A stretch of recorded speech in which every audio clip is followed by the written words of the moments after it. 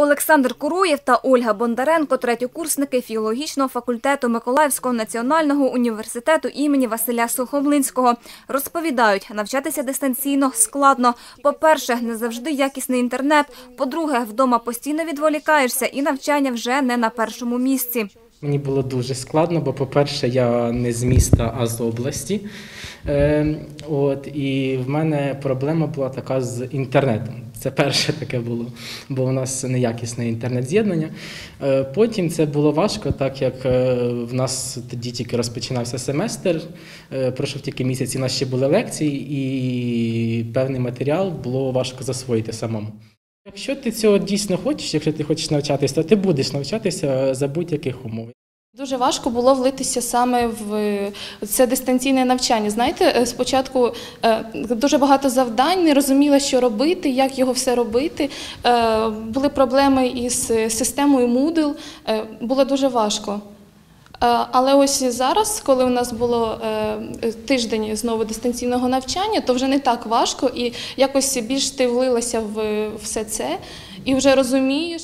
В кабінеті за ноутбуком старший викладач економіки та менеджменту Олександр Рехтета пояснює нову тему лекції. З ним на онлайн-зв'язку вісім студентів. Чоловік говорить, в начальному процесі мало що змінилося. Студентам, як і раніше, даються завдання, які вони мають виконати. Ми у Google Meet створюємо конференцію з студентами, а, проводимо безпосередньо з учасниками інтерактив. Да, вони нам пишуть, відповідають. Ось презентація на фоні відбувається. Ну і таким чином ми, в принципі, і проводимо і лекційні заняття.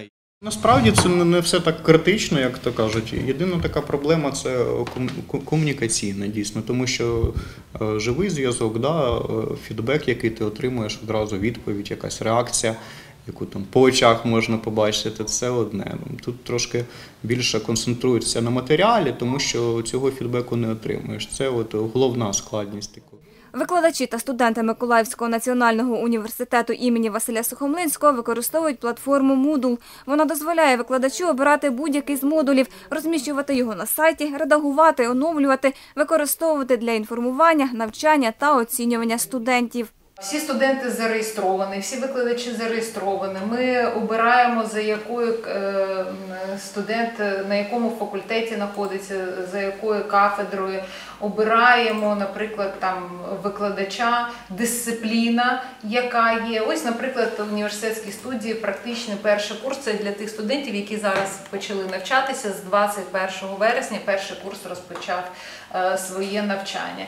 І ось іде організація практичних занять. Зараз в університеті змішана форма навчання, говорить проректорка з науково-педагогічної роботи Олена Кузнецова. Чого не вистачає, це спілкування. За цим студенти дійсно вони жаліються. І коли навіть сьогодні у нас стоїть питання знов таки е, або переходити на дистанційне навчання, тому що є певні рекомендаційний лист міністра, тимчас виконуючи е, обов'язки міністра, е, то студенти перші, хто сказали, «Ні, ми не хочемо.